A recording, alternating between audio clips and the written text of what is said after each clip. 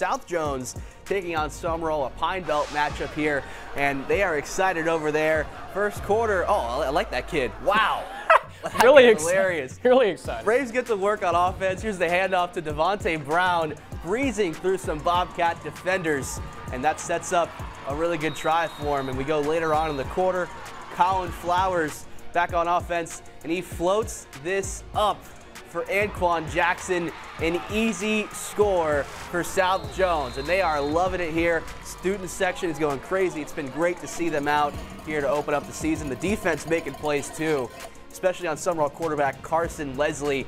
He is going to get gang sacked right here, and it's Quadarius Keys finishing the job.